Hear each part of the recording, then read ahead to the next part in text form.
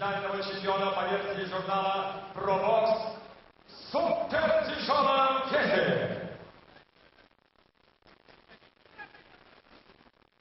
Этот бой посвящается Артему Александровичу Лаврову. Заслуженный тренер СССР. С 80 по 88 года тренер Госкомспорта СССР. Подготовил олимпийского чемпиона Шахир Сабирова. Руководил сборной командой СССР на Олимпийских играх 88 года. С 90 года работал тренером в Турции. С 97 работал тренером в Краснодаре. Артем Александрович Лавров.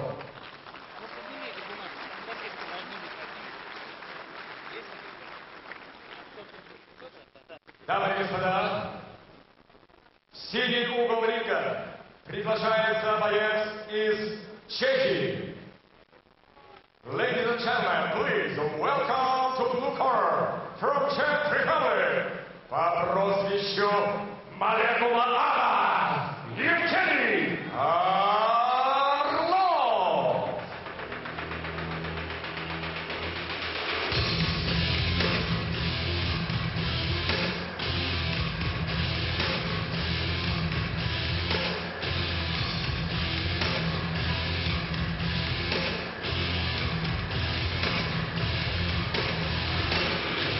вот сейчас э, очень ожидаемый поединок э, Евгения Орлова, который известен как э, молекула ада, и э, Вячеслава Глазкова. Вячеслав э, Глазков э, является фаворитом данного боя. Э, Конечно, ну, достаточно таким, я сказал, фаворитом явным. Потому что Вячеслав Глазков хороший э, спортсмен, участник Олимпиады да, в тяжелой весовой категории. Евгений Орлов э, по своей базе кикбоксер. Сейчас Евгений перешел в бокс, но э, результаты в боксе у Евгения Орлова то неплохие, то не очень хорошие. Евгений Орлов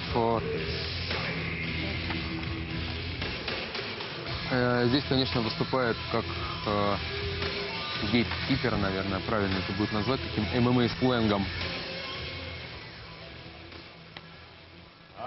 Больше двух метров роста у Евгения Орлова, больше 120 килограммов вес. Мы сейчас послушаем Александра Загорского, какой именно рост и э, вес у Евгения Орлова. Ну а Вячеслав Глазков э, представляет э, Украину. Я скажу, что это единственный поединок, где россиянин не является фаворитом боя. Э, Этот э, бой также проходит за звание интерконтинентального чемпиона по версии журнала «Пробокс».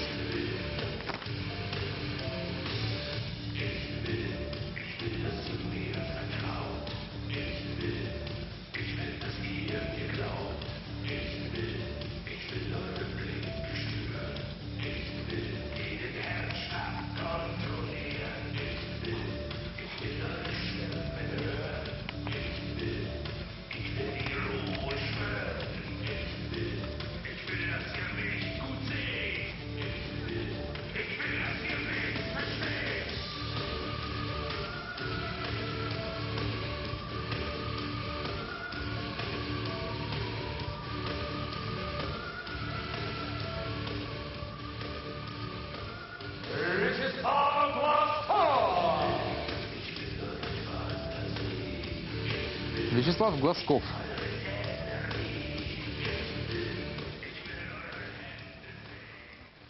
Представьте чемпионский пояс. Please welcome Canada Chispel. А Чемпионский пояс интерконтинентального чемпиона а, по версии журнала «Пробокс» а, Вячеслав Глазков стал бронзовым призером Олимпийских игр, которые проходили в Пекине. Роберто Камарелли, я напомню, стал а, олимпийским чемпионом, а второе место а, занял спортсмен из Китая. Ну а Вячеслав Глазков удовольствовался бронзовой медалью. Ну, Вячеслав Глазков э, очень неплохо себя показал на профессиональном ринге. э, Провел прекрасный, я считаю, бой против э, россиянина Дениса Бахтова. Выиграл этот поединок, выиграл э, данный бой. Вячеслав Глазков э, по очкам. Спасибо Федору Рыж- Рыжову, э, поправил меня. И Вот после этой победы я считаю, что Вячеслав Глазков ну, какие-то дополнительные э, профессиональные очки заработал.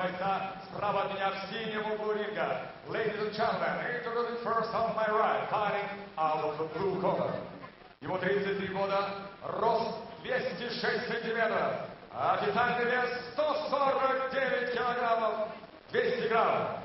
33 years old, official weight 149.2 kilos. Его профессиональный рекорд 25 боев. 13 побед, включая 8 побед нокаутом, 11 поражений, 3 одной ничей. And his professional record, 25 pounds, 13 victories, including 8 wins, coming by way of knockout, 11 defeats and 1 draw. Чемпион мира в национальному кикбоксингу, вице-чемпион мира по тайскому боксу, Kickboxing champion of the world, vice champion of the world in Muay Thai, дамы и господа. С удовольствием представляю вам из Праги, Чехия, ladies and gentlemen, introducing from Prague, Czech Republic, Evgeny Balitulov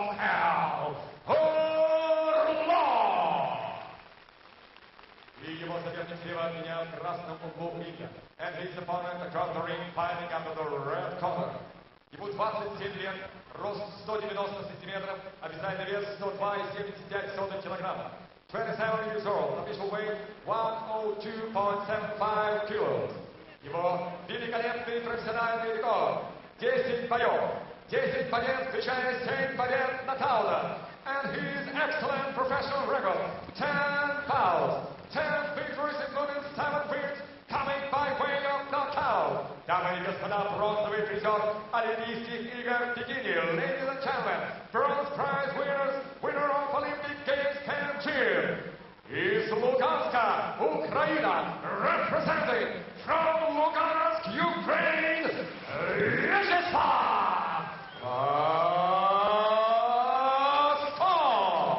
Вячеслав Глазков, Евгений Орлов. Э, Еще раз скажу, Евгений Орлов, э, э, несмотря на свои внушительнейшие габариты, все-таки является таким вот гейткипером, то бишь человеком, как я уже говорил, на котором пробуют себя бойцы. Но победа над ним, это опять же, скажем так,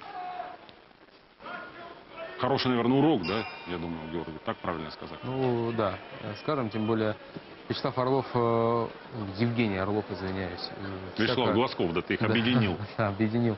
Это всяко очень неудобный спортсмен.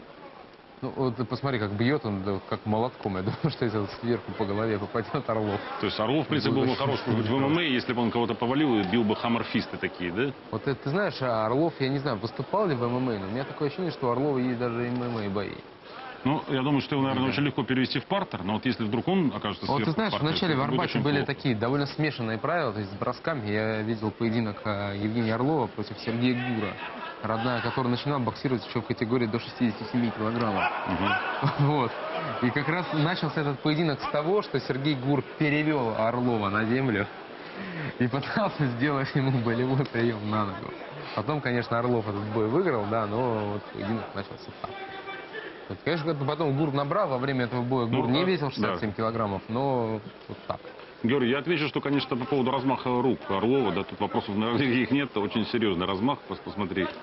Э, Если бы у, у него был бы такой жесткий джеб, например, как у Владимира Кличко, то я думаю, что проблемы многие бы проблемы испытывали с Ну, этим парнем. да, сразу вспоминается Николай Валуев, и понятно, что проблемы действительно были испытаны. Потому что вот антропометрически Орлов от Валуева ну, мало чем, наверное, отличается. Мне кажется, Валуев повыше, а Орлов по- Тяжелее. по- ну, можно сказать, потяжелее. Я бы, наверное, все-таки сказал, н- не хочется, конечно, никого ни в коем случае оскорблять, но мне кажется, потолще, наверное, все-таки, потому что лишний вес присутствует у Орлова. Вот, э, вот, э, вот сейчас даже вот видно, виден этот лишний вес. Вот знаешь, ты. да, Орлов э, на данный момент представляет Прагу, то есть Чехию. А, вот так вот. Да, Я э, помню, что он Кипр, по-моему, как-то даже представлял. И Кипр, да, представлял. Он, э, когда э, в Арбате бился, он представлял Белоруссию, но сам он россиянин, если я не ошибаюсь. Как правильно? То есть Орлов представляет Ну, все страны. Я вспоминаю интервью с Даниилом Перетятько, с другим э, бойцом, который тоже повидал, скажем так, много разных боев, да, много разных поединков. Вот, в принципе, на- наверное, можно сравнить э, и жизненный путь. Я вспоминаю его интервью, он говорит, что готов биться всегда, в любом месте, с любым соперником. Ну, знаешь, обрати внимание, Орлов и Голосков выглядят как спортсмены совершенно разных весовых категорий, как будто бы... Ну, пока, знаешь, обратите внимание, Вячеслав не может к нему так приноровиться. Вот-вот-вот правый пошел, начал проходить. Теперь уже вижу, что надо. Ну, а я, честно говоря, думаю, что э, Вячеславу не надо приноравливаться. Первый А раунд два, правый, может быть, три. Да. Потому что 10 раундов, но Орлова больше, чем на 5, мне кажется, не хватит. То есть просто ты думаешь продышаться опять же, да, Вячеслав? Ну, я думаю, что да. Потому что сейчас не нужно ле- лезть на, на рожон. Да, а раундов после третьего уже все станет попроще для Глазкова. Ну, отметим, что, э, в принципе, Орлов, э, несмотря на большое количество своих поражений, э, нокаут он проигрывал только два раза из 11.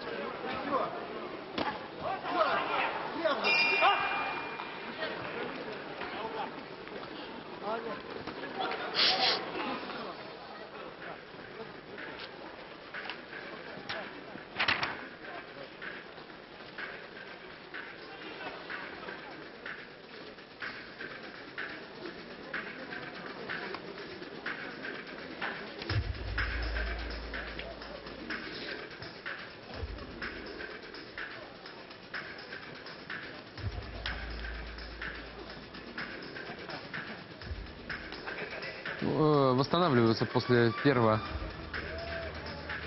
раунда.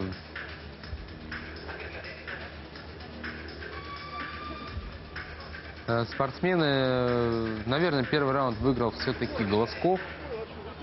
Ну, потому что попадания Вячеслава Глазкова были. Я сделал свой прогноз. Мне кажется, что с каждым последующим раундом э, преимущество у Глазкова будет увеличиваться. Мне кажется так.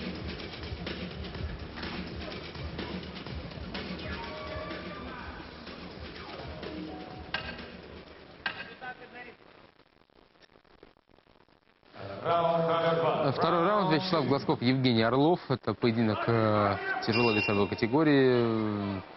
Разница в весе у этих спортсменов около 40, э, около 40 килограммов, как мы видим, в росте тоже есть большое преимущество у Евгения Орлова. Вот джебом попадает э, Глазков.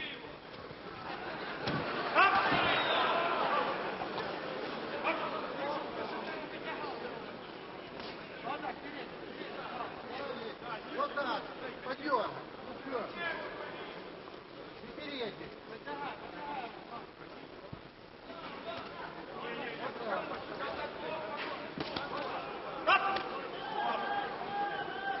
Он держит. Передний все.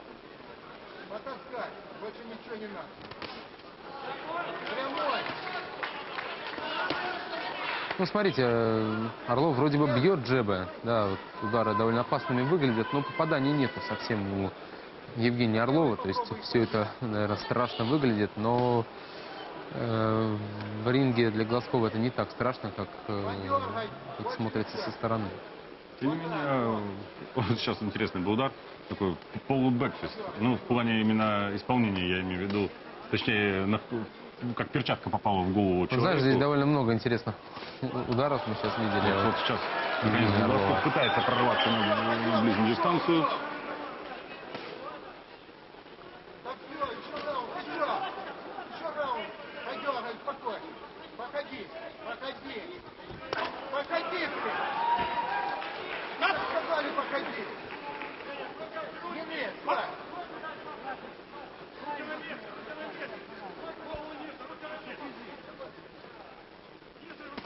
Ух. Этот удар интересный. Сейчас был, я вспоминаю фильмы, э, карате фильмы, вот сейчас был удар по шее, где-то примерно в район шеи и нанесен ребром ладони, по-моему. В принципе, если бы эти удары считались, то, наверное, проблемы были бы у Глазкова. Ох? Орлов интересно действует. Он прижимает Ты знаешь, не совсем по-боксерски сейчас действует а, Орлов. А, Мы видели скорее грязный бокс, что ли, так поправильнее назвать, когда один боец другого прихватывает Глазков же при этом сильно бьет. Я вот одной рукой. Как, пока не получается у него выйти на, на нужную себе дистанцию. Вот сейчас левым, левым достал. А вот нырнуть бы под этот медленный джеб, который... Ну, Георгий, а как ты вот как оцениваешь? Орлова можно назвать человеком с сильным ударом? Да правой? нет, наверное, нельзя назвать. То есть в любом случае это удар неприятный, когда тебя бьет человек весом э, Да, нет, 146 это- килограммов. Это безусловно, но я именно вот, э, опять же, Ну, вот по меркам- боксерские годы. Э, даже. не, по, вот, вот по меркам, даже, да, вот по меркам сейчас вот если судить там профессиональных боксеров, думаю, что удар скорее, знаешь, такой очень неприятный, который тебя может То есть оттолкнуть. больно. Да, больно, Больно. но выдержать. Не смертельно, но Не больно. смертельно, но больно.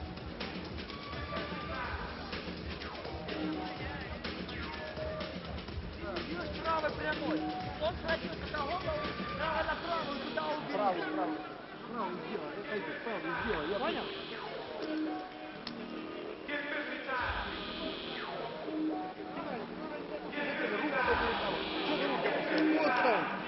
Вот там, вот там у меня.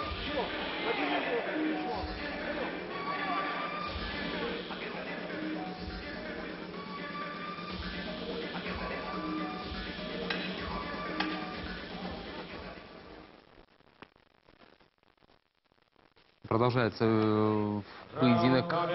Вячеслав Глазков и Евгений Орлов.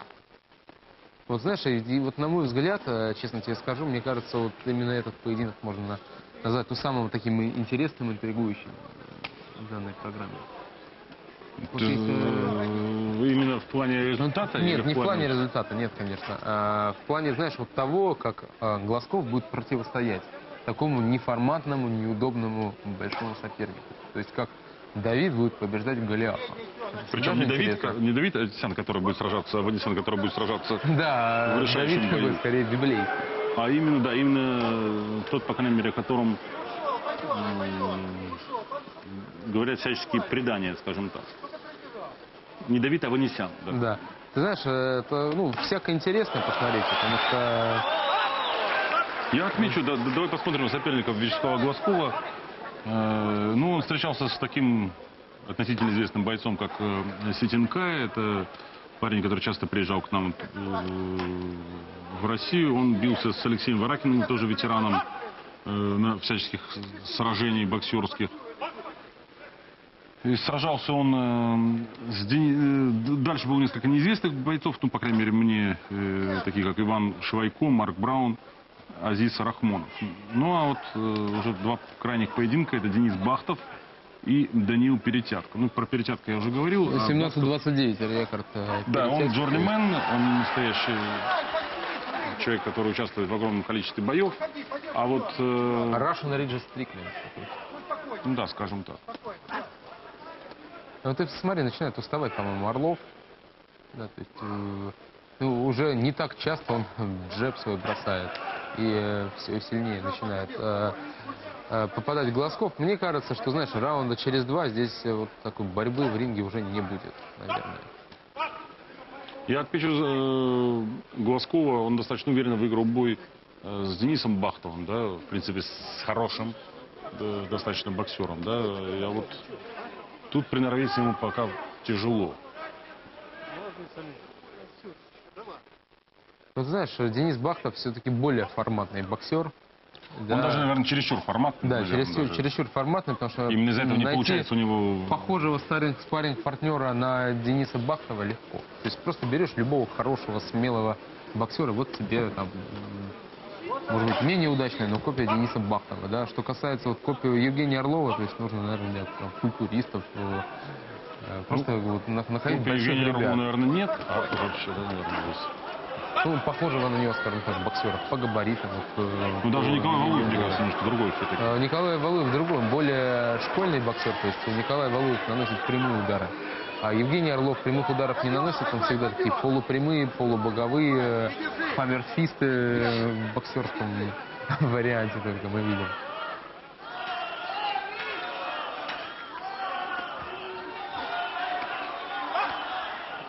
Но Глазкову, мне кажется, надо все-таки тоже более активно действовать. Он как-то э, несколько одном, ну, на мой взгляд, конечно же, несколько однообразен, но, может быть, это... а- а- Опять же, Глазкова мы рассматриваем, как и Максима Власова, с перспективой. Конечно, Власов провел гораздо больше бо- боев, и больше соперников у него было Ну, Знаешь, вот я думаю, что перспектива вот на данный момент у Глазкова больше. Объясню почему. Потому что категория не такая востребованная, как у Бахтова. Потому что Бако- Ба- Бахтова можно назвать У- у Власова. у Власова, да. Человек 6-7 э, очень сильных спортсменов. Да, у Вячеслава Глазкова мы сейчас знаем, что ну, в тяжелом весе поменьше таких опасных ребят, потому что вот, э, ну, лидеры, как э, Владимир Кличко, Виталий Кличко, там, Александр Поверкин, да тот же Хэм, и не знаю, сколько они будут боксировать, может быть, недолго. Да, расцвет Глазкова будет через несколько лет, года, ну, через два, через три, наверное. Кто из них останется в профессиональном боксе, кто уйдет, наверное, Виталий Кличко к этому времени уже уйдет.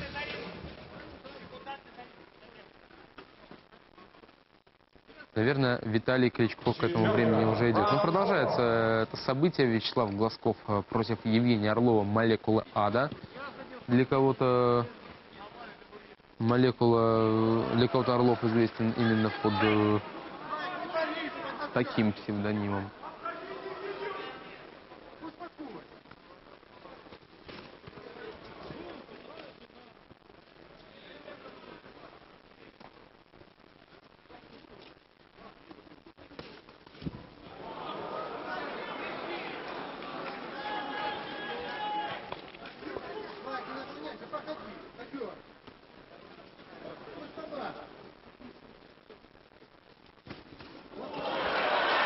Посмотрите, если снова хорошо попадает.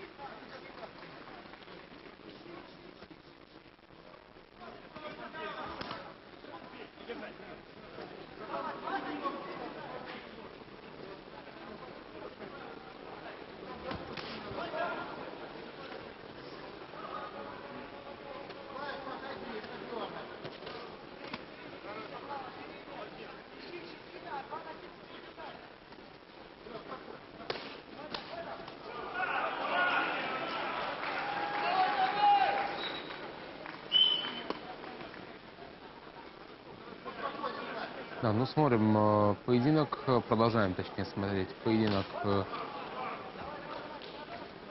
Вячеслава Глазкова и Евгения Орлова. Интересный, хороший бой, интересно посмотреть за работой Глазкова. Ну вот сейчас уже попадает буквально в каждой атаке Глазков. Евгений Орлов, конечно, сейчас это видно, данный поединок проигрывает. Да, проигрывает довольно явно. По очкам-то, конечно, у Орлова шансов никаких нет. Здесь э, весь вопрос в том, достоит ли Орлов или же э, достоять не сможет. Вот сейчас, посмотрите, хороший удар в корпус. Потрясен Евгений Орлов, как бы нокдауна не было в этом эпизоде, а то и до нокаута может дойти. Э, Нет, выстоял Орлов, но все больше неприятных для него звонков.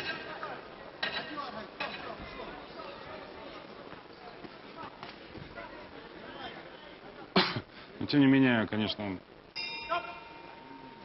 хотелось бы, чтобы Вячеслав Глазков все-таки как-то более активно, что ли, действовал. Тем более он вроде бы начал потихоньку пристреливаться. Пристреливается.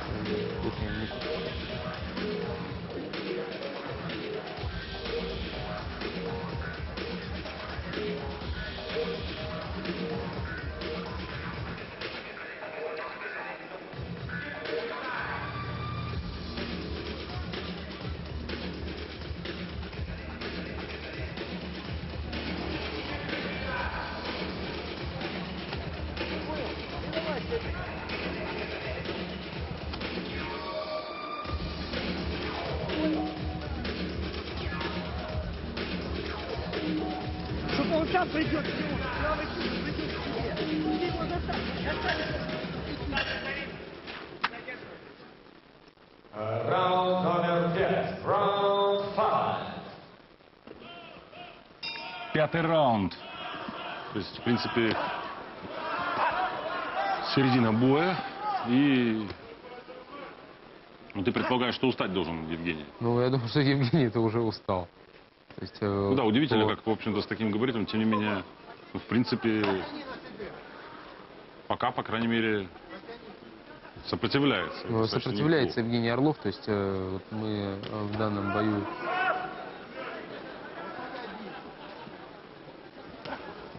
Ну, размах, конечно, рук решает, что называется. да, Тяжело подобраться к нему очень. размах рук здесь И не хочется решает. получать вот эти джебы навстречу. Вот сейчас бы, мне кажется, в корпус, если был бы нанес бы этот удар бы Вячеслав Глазков, был бы, может быть, поинтереснее. Вот так, вот, подъемный, молодец. Держи. Молодец.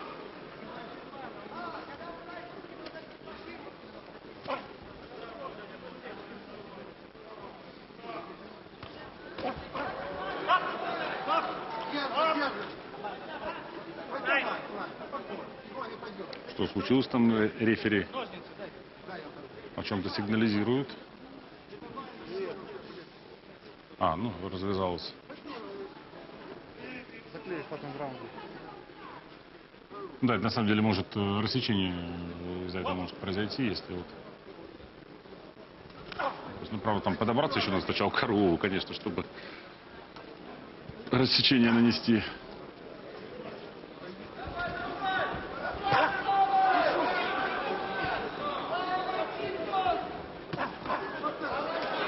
Вот, вот, вот, по-моему, начинает пристреливаться Глазков.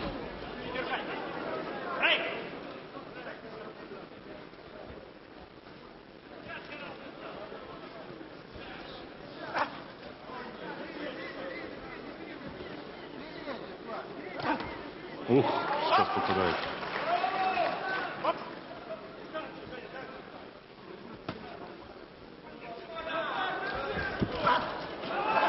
Вот попадает сейчас Вячеслав.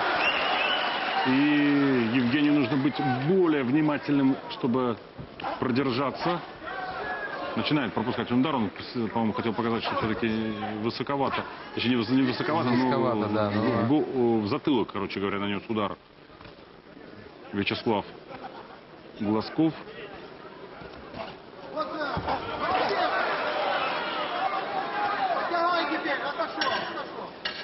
за- ну, завершается очередной раунд, а мне кажется, Попадает, все. посмотри, попадает.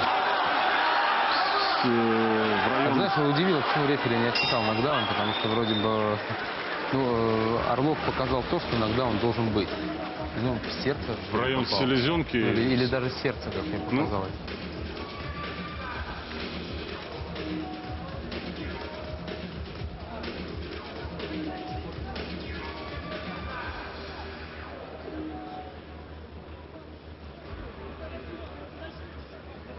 с учетом нестандартного сложения Евгения, тут, конечно, сложно говорить, куда именно пришелся удар. Ну, то, что удар пришелся в корпус, это можем совершенно точно сказать. А, а смотри, отказ. Отказ от продолжения поединка, да, Евгений Орлов, как, наверное, мы и планировали, э, прошу прощения, не планировали, предполагали, конечно же, а то зрители, чтобы нас не обвинили еще в том, что мы некие темные деятели закулисные. Нет, конечно же, мы просто предполагали о том, что Вячеслав Глазков может Ну и скажем, Может, что такой поединок. прогноз оказался довольно верным, что переждал Глазков ну, там первые три раунда, и после чего Евгений Орлов ну, был для него там, до- довольно понятным соперником. Ну, Мы посмотрели, как э, сейчас э, Давид Вячеславу. победил, да, как э, некрупный боксер победил крупного, хотя, конечно, о тяжеловес так говорить тяжело. Евгений Орлов э, был в этом поединке слабее, но, в принципе, сложности у Глазкова здесь мы увидим. Ну, сейчас э, награждение посмотрим, и нас ожидает заключительный бой нашей программы. Давид Аванесян, которого мы хорошо помним, Джеймс Ануанго. Продолжить поединок Евгением Орловым. Аньянго, я извиняюсь. Одержал победу и завоевал титул интерконтинентального чемпиона по версии журнала ProBox Супер тяжелом весе.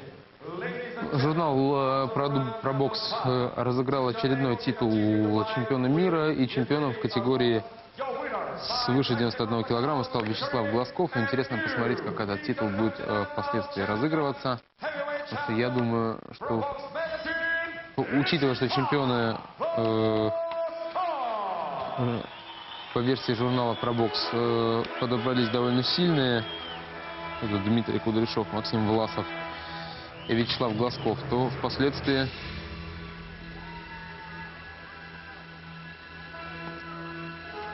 э, то впоследствии и отстаивать, наверное, этот титул придется э, против более сильных и более опасных соперников.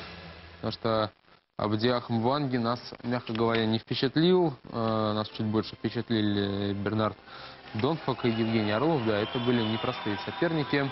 Ну, ну, все плюсы и минусы Максима Власова и Вячеслава Глазкова в этих поединках были понятны. Думаю, что э, сильные стороны эти молодые, перспективные, интересные боксеры будут развивать, ну а слабые, наоборот, Дамы и господа, впереди вас ждет главное событие сегодняшнего вечера. Слабых сторон, То, наоборот, будет ради меньше. чего мы все здесь собрались. И я уверен, все получите ни с чем не сравнимое удовольствие. Но прежде, чтобы еще больше поднять ваш дух и ваше настроение, шоу «Балет Экспансия». шоу «Балет Экспансия» сейчас на ваших экранах. Наслаждайтесь.